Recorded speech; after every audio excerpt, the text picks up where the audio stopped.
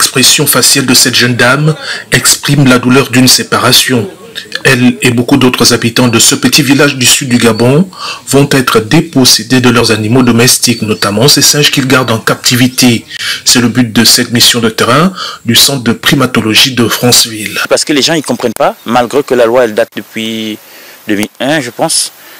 Il y a toujours des gens qui vous diront Ah ouais, moi j'étais pas au courant que c'était interdit de garder des primates et tout.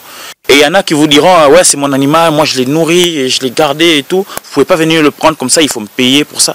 Le mandril, comme le gorille et le chimpanzé, font en effet partie des espèces protégées.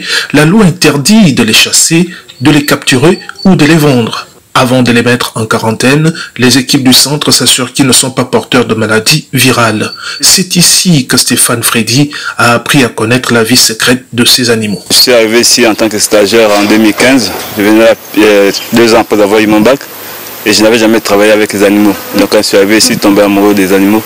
J'ai décidé de ne pas repartir à l'école et travailler ici au CDP. Après la phase d'isolement, les petits rejoignent le nouvel environnement indispensable à la survie en milieu sauvage. Je les nourris, je les apprends à marcher, je les apprends à se développer. Voilà un peu le rôle que je joue. Dans ce sanctuaire se déroule la dernière phase de réadaptation, un régime de semi-liberté où les animaux sont suivis jusqu'à leur éventuelle réintroduction dans leur habitat naturel.